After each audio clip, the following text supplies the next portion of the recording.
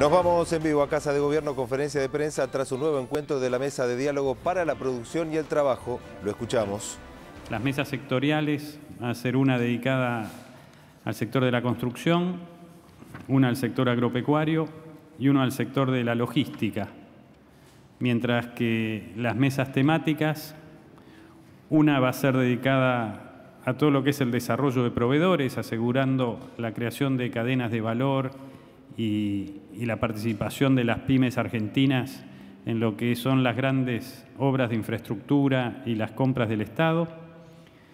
La segunda que se va a focalizar en lo que es la creación de empleo para los jóvenes y para aquellos segmentos más, más necesitados de trabajo.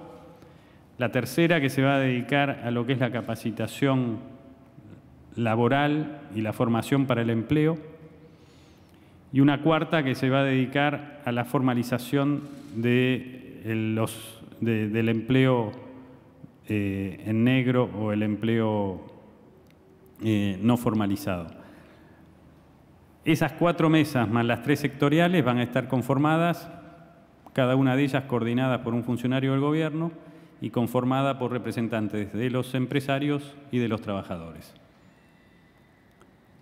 Lo que quiero destacar también es que después de esta discusión metodológica, el ministro Dietrich, con todo su equipo, hizo una presentación sobre los planes de infraestructura que está llevando adelante el Ministerio de Transporte, tanto en lo que se refiere a ferrocarriles de carga, puertos, aeropuertos, infraestructura vial e infraestructura de transporte urbano, de manera tal de ir cubriendo así cada uno de los ejes, de los ocho ejes del plan productivo. Hoy empezamos con el plan de infraestructura porque consideramos que es uno de los elementos más esenciales en la mejora de la competitividad y en la reducción de los costos logísticos.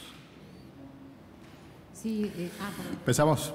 Dale. Buenas tardes, Mariel Dilenarda de Radio Mitre. Eh, ustedes dijeron, acordaron, algunos de los sindicalistas que participaron del encuentro dijeron que habían firmado. Quería que, si podíamos precisar eso, digo, si se firmó un compromiso de que no va a haber despidos y además falta, mucho para el, eh, falta muy poco para el 2017, digo, 40 días. ¿Hasta cuándo o a partir de cuándo podrían comenzar los despidos en función de lo que se acordó? Eh, a, ver, para responder tu pregunta, cada una de estas reuniones que hacemos, el diálogo, después se produce un acta, digamos, donde las partes manifiestan lo que se ha dialogado, eh, se plantea también la agenda de trabajo para las futuras reuniones.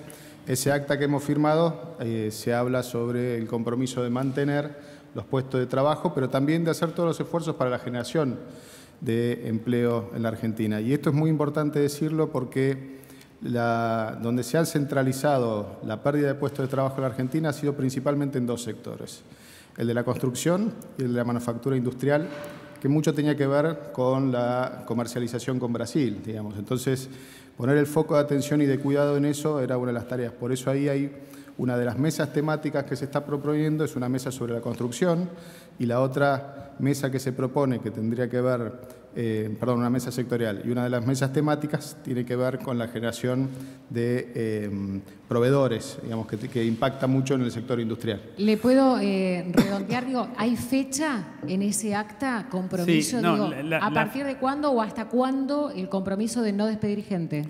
Se plantea una fecha hasta marzo del 2017.